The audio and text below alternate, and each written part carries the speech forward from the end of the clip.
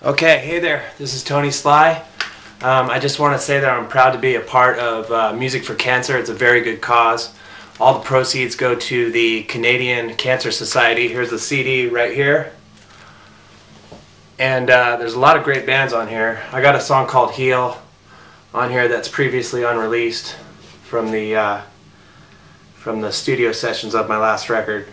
Um, but anyway, there's some great bands on here. There's uh, the Loved Ones, Cigar Pulley, Swinging Utters, Everything Against Them, Pour Habit, Strung Out, Good Riddance. Jon Snodgrass is on here, Brian Wahlstrom, No Effects, Joey Cape, Death by Stereo, Rufio, and so many more bands that just um, are great.